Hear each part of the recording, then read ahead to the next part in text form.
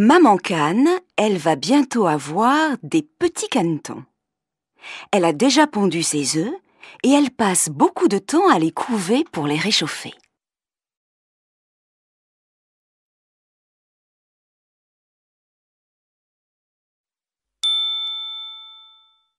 Ça y est, c'est le moment de la naissance. Maman canne, elle entend la coquille des œufs qui craquent. Les bébés canards qui sont dedans, ils voudraient bien sortir de là. Ils piquent la coquille avec leur bec pour la casser.